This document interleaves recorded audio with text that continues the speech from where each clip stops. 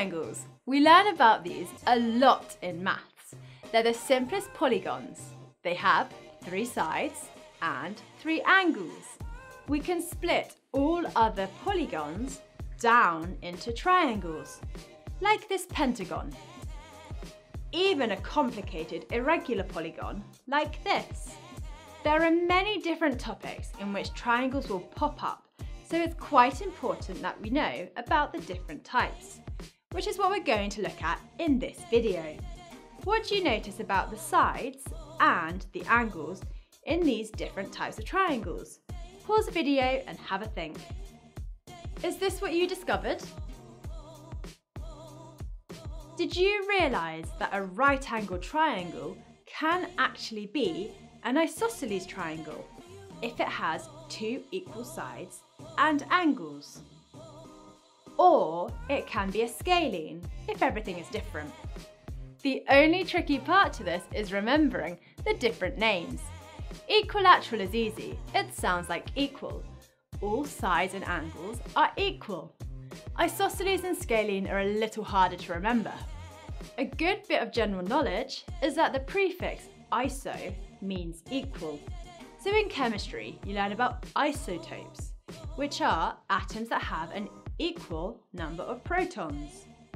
Isometric paper is made up of lots of equal triangles. An isosceles triangle is one that has equal legs, Two legs of the same length, and then the base. So just remember that the word isosceles means equal legs.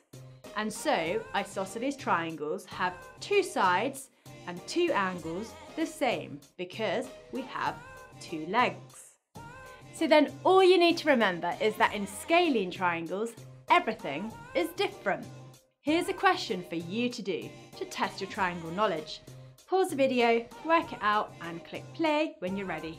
Did you spot that this right angle triangle here is also an isosceles triangle? And this one is also a scalene triangle. Two last questions for you to answer. What do the three angles in any triangle add up to? And what is the size of one angle in an equilateral triangle?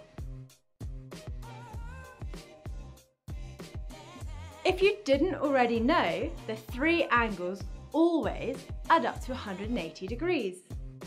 And because an equilateral triangle has three equal angles, each angle must also always be 60 degrees. So there we have our different types of triangles. Just find a way that works for you to remember the different names. As I said earlier, I always remembered isosceles means equal legs.